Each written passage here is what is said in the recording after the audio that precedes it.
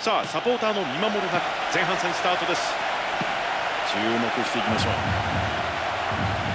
まずは前線に送ろうというところ。チェック。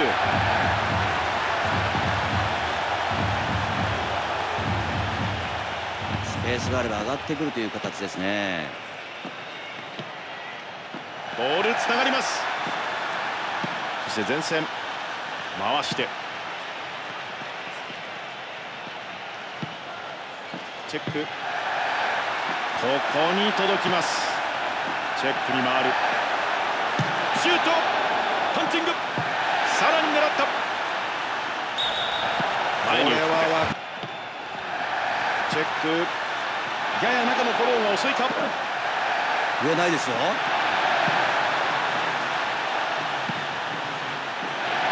さあ固まっている。長すぎました。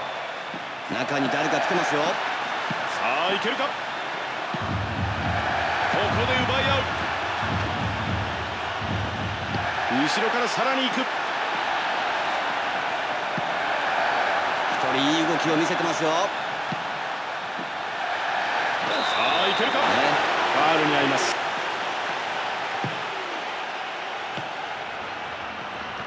おっと中誰もいませんよ。打つ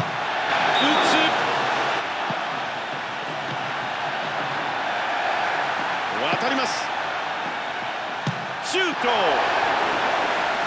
やうまく低めを狙ったんですけどね。狙いすましたシュートを放ちました。少し出して。回して。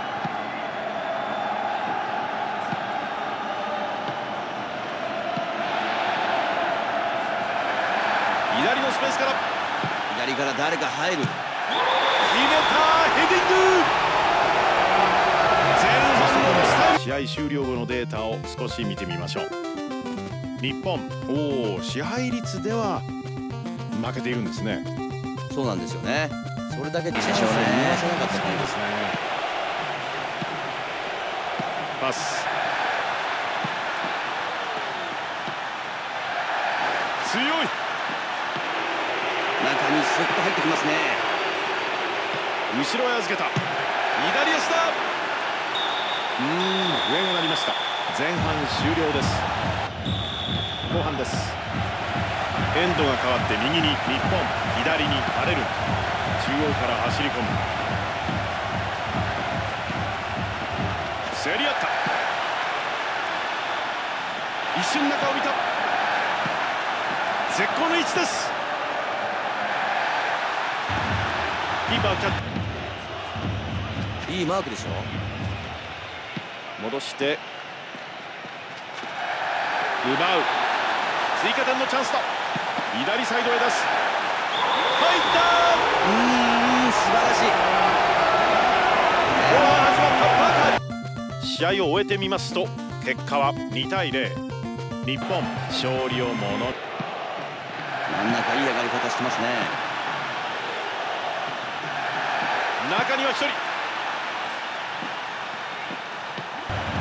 チェック真ん中いい上がり方してますね。さあいけるか？ノーホイッスルだ。